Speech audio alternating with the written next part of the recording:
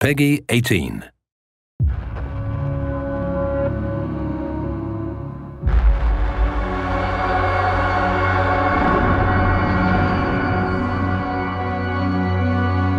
I used to know what tomorrow looked like.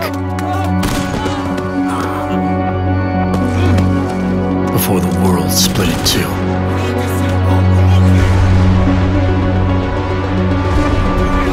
Everything changed then. Including me.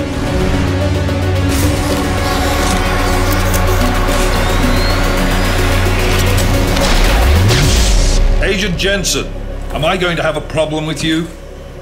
No, sir. No reason to assume you would. They made me what I am.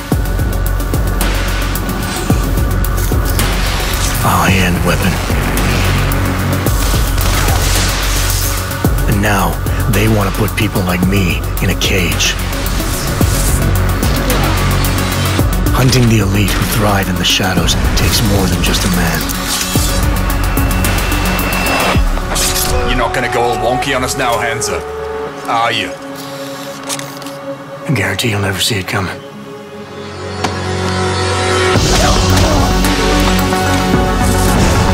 It takes a weapon who chooses to believe a better future is possible.